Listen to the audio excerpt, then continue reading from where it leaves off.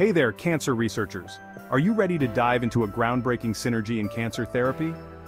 Today, we're exploring the combined power of antibody-drug conjugates or ADCs and natural killer cells, known as NK cells. First, let's talk about ADCs. These are fascinating complexes that link an antibody which targets cancer cells with a potent anti-cancer drug. The magic here? ADCs selectively bind to cancer cells, minimizing harm to normal cells and delivering a powerful punch of drugs right where it's needed.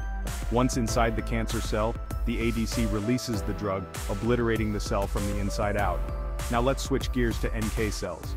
NK cells are warriors of our immune system, with the ability to recognize and destroy infected or cancerous cells without prior sensitization.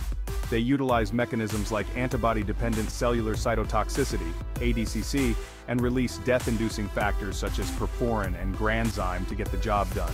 But here's where it gets really interesting. The synergy between ADCs and NK cells. When an ADC binds to a cancer cell, it creates a target for NK cells to recognize and attack.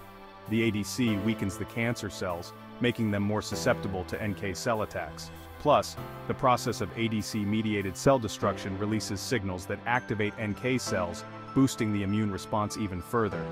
ADC treatment also alters the tumor microenvironment, aiding immune cell infiltration and function. This change enhances NK cell performance, creating a more hostile environment for cancer cells. Exciting research has shown that this combined therapy is significantly more effective than monotherapy.